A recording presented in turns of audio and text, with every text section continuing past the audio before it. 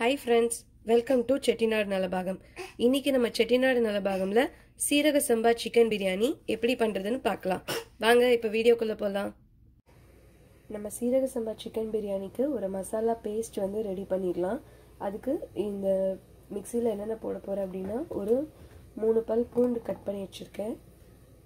மூணு பல் பூண்டு கொஞ்சமாக கொத்தமல்லி இலை கொஞ்சமாக புதினா இலை ஒரே ஒரு பச்சை மிளகா. நான் ஒரு கப் தான் போடுறேன். அதனால் ஒரு பச்சை மிளகா எடுத்திருக்கேன். ஒரே ஒரு துண்டு இஞ்சி. இது எல்லாத்தையும் நம்ம மிக்சியில் சேர்த்து நல்ல பேஸ்ட் மாதிரி அரைச்சி எடுத்துக்கலாம். சீரக சம்பா பிரியாணிக்கு நான் குக்கரில் வந்து ஒரு ரெண்டு ஸ்பூன் ஆயில் ரெண்டு ஸ்பூன் வந்து கீ ஹீட் பண்ணியிருக்கேன்.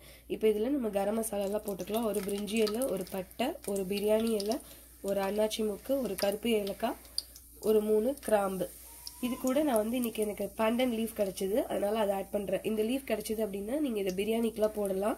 போட்டிங்கன்னா அது ஃப்ளேவர் வந்து ரொம்ப நல்லாயிருக்கும். இதெல்லாம் இப்போ பொரிஞ்சதுக்கு அப்புறமா ஒரு பெரிய வெங்காயம் ஆட் பண்ணுறேன் இந்த வெங்காயத்தை கொஞ்சம் நல்லா வதக்கிக்கலாம். இந்த வெங்காயம் வதங்கும் போது நம்ம இதுக்கு தேவையான உப்பு போட்டுடலாம். நான் ஆல்ரெடி இதில் சிக்கனில் வந்து தயிர் மிளகாத்தூள்லாம் போட்டு மேரினேட் பண்ணிட்டேன். அப்போ கொஞ்சம் உப்பு போட்டிருக்கேன். அதனால இப்போ உப்பு கொஞ்சம் குறைச்சி போட்டுக்கிறேன்.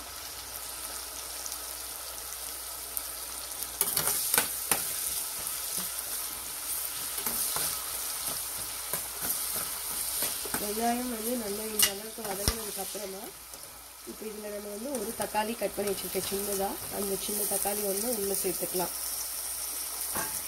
தக்காளி சேர்த்துட்டு அதில் நம்ம சில்லி பவுடர் கொஞ்சம் ஆட் பண்ணிக்கலாம். நான் ஆல்ரெடி அந்த சிக்கனில் வேறு போட்டிருக்கேன். ஸோ அதனால் இதில் நான் கம்மியாக போடுறேன்.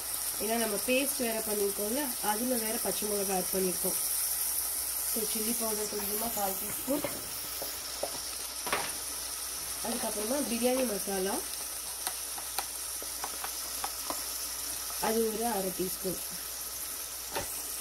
ஏன்னா நான் ஒரு கப் ரைஸ் தான் எடுத்திருக்கேன் இன்னைக்கு அதுக்காக. ஸோ இப்போ இது ரெண்டும் சேர்ந்து நல்லா அந்த தக்காளி வந்து மசீர அளவுக்கு வதங்கட்டும். வதங்கினதுக்கு அப்புறமா நம்ம அரைச்சி வச்சுருக்க பேஸ்ட்டை ஆட் பண்ணிக்கலாம். இப்போ தக்காளி இந்த அளவுக்கு வதங்கினதுக்கு அப்புறமா நம்ம புதினா கொத்தமல்லி பச்சை மிளகாலாம் அரைச்சி வச்சுருந்தோம் இல்லையா? அந்த பேஸ்ட்டை வந்து நல்லா உள்ள சேர்த்துட்டேன்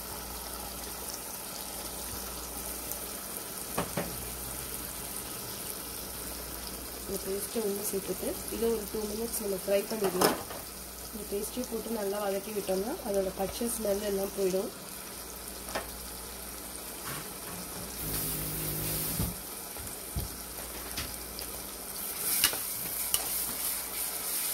எண்ணெயில் வேணால் ஒரு ரெண்டு நிமிஷம் வதக்கணும்னா போதும் ஏன்னா நம்ம சிக்கன் ஆட் பண்ணி ஒரு டென் மினிட்ஸ் வந்து அதை குக் பண்ண போகிறோம்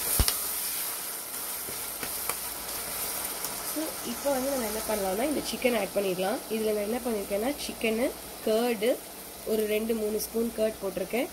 கொஞ்சமாக chilli powder salt turmeric powder ginger garlic paste ஒரு ஸ்பூன் இது எல்லாத்தையும் ஒரு ஒன் ஹவராக நான் ஊற வச்சுருக்கேன். ஸோ இதை வந்து இப்போ ஆட் பண்ணிடலாம்.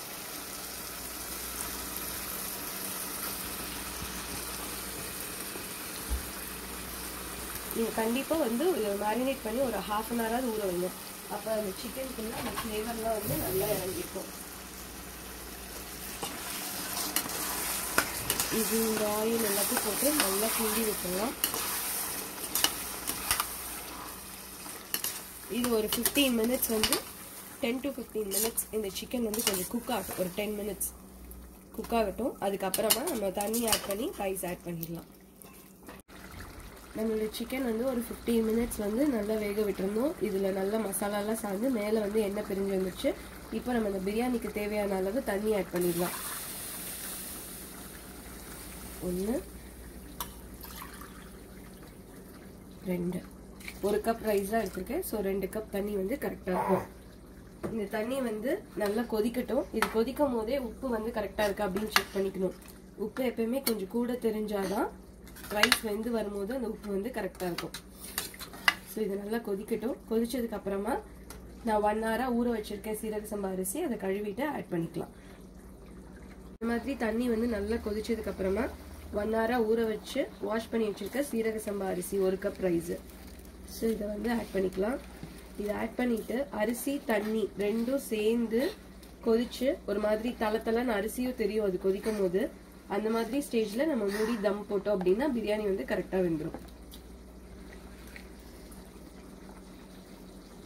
இந்த மாதிரி அரிசி தண்ணி ரெண்டுமே தெரியுதுல்ல? இந்த மாதிரி ஸ்டேஜ்ல கொதிக்கும் போது நீங்க அடுப்பை மூடிட்டு ஒரு டென் மினிட்ஸ் சிம்ல வச்சு தம் போட்டுருங்க. குக்கரை நான் மூடுறேன். மூடிட்டு அடுப்பை வந்து நல்லா லோ பண்ணிட்டு வெயிட் கூட வச்சிடலாம். டென் மினிட்ஸ் டென் மினிட்ஸ்க்கு அப்புறமா ஆஃப் பண்ணிட்டு ஒரு ஃபிஃப்டீன் மினிட்ஸ் அப்படியே அடுப்பில் இருக்கட்டும். அதுக்கப்புறம் நம்ம ஓப்பன் பண்ணோம்னா நம்மளோட பிரியாணி நல்லா ரெடி ஆகிடும் ஸோ டென் மினிட்ஸ்க்கு அப்புறமா நம்ம பார்க்கலாம். பாருங்க ஃபிஃப்டீன் மினிட்ஸ்க்கு அப்புறமா நான் குக்கரை ஓப்பன் பண்ணிட்டேன். பிரியாணி வந்து நல்லா ரெடியாக இருக்குது இது ஆறினோடனே நல்லா உதிரி உதிரியாக வந்துடும் கொஞ்சம் நேரம். ஏன்னா ரொம்ப சூடாக இருக்குல்ல. ஸோ எந்த அடுப்பில் வைக்கிறீங்களோ அதில் லோ ஹீட்டில் டென் மினிட்ஸ் அதை அப்படியே ஆஃப் பண்ணி டென் மினிட்ஸ்க்கு அப்புறம் ஆஃப் பண்ணிவிட்டு அதை அப்படியே விட்டுருங்க. அடுப்பு மேலேயே இருக்கட்டும். ஃபிஃப்டீன் மினிட்ஸ் கழிச்சு எடுத்தீங்கன்னா இந்த மாதிரி பிரியாணி வந்து சூப்பராக இருக்கும். நல்லா அதோட ஃப்ளேவர்லாம் உள்ளே இறங்கியிருக்கும்.